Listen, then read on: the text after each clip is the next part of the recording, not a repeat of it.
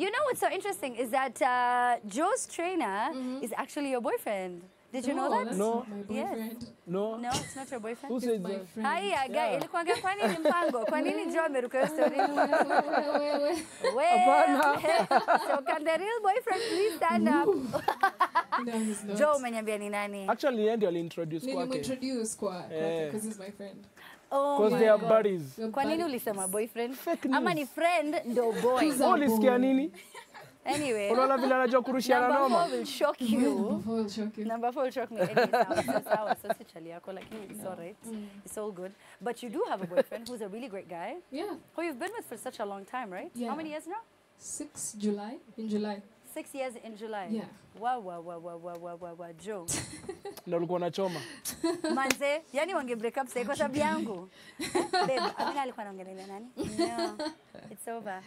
And it's really tricky because in the industry there are a lot of stories that are written about Yeah. people. How does he handle all of that? And your newfound fame now.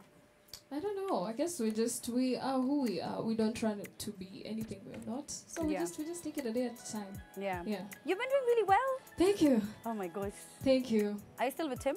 Yeah, yeah. Rimbui, who yeah. is a producer, Yes. right? I should have continued to expound some more. Yeah. So you're still with him? I am. Wha- You've been with him since you won Maisha Superstar, yeah, right? that- yeah, that was in 2015. Yeah.